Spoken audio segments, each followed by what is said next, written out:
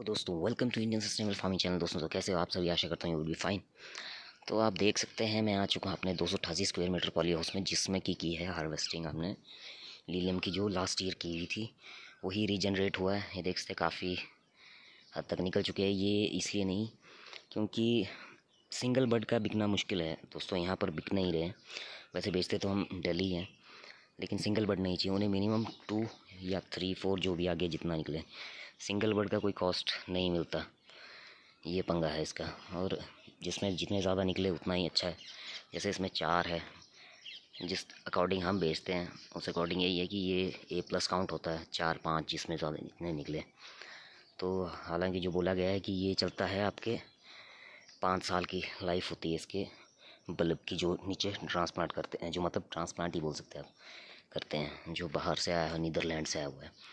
तो ओवरऑल ठीक है, चला हुआ। ये भी लगे हुए हैं, देख सकते हैं आप। इस बार ऐसा हुआ है कि इसमें अभी तक पर आपके बर्ड्स नहीं बने हुए हैं। तो लेकिन अब बनने शुरू हुए हैं काफ़ियों में, काफ़ी हाइट है, लेकिन मैं पहुँच नहीं पाऊँगा अभी।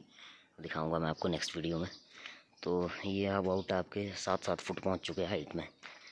तो काफ़ी ऊपर जा चुके हैं, देख सकते हैं आप, काफ़ी बड़ा जंगल बन गया है। तो इसमें भी सिंपल वही है, जो खाद टमाटर को देते हैं, वही फर्टिगेशन सेम प्रोसेस वही है परे टमाटर लगे हैं, इस साइड लीलियम लगा हुआ है। तो बिक रहे हैं ऑब्वियसली जो पिछले साल भी ठीक ही था तो इस साल भी है।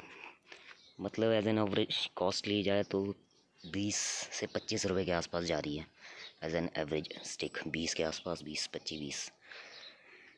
बाकी फिर माल देख के ग्रेडिंग होती है ना, कोई ऊपर चले जाता है, जैसे जिस हिसाब से, जैसे अगर इसमें चार चार बर्ड लगे हैं, पाँच लगे हैं तो उसके रेट चालीस के आसपास भी पहुँच जाता है। तो ये था दोस्तों, छोटा सा वीडियो तो मिलते हैं नए वीडियो में जल्दी। तब तक के टेक केयर एंड प्लीज़ जो सब्सक्राइब माई चैनल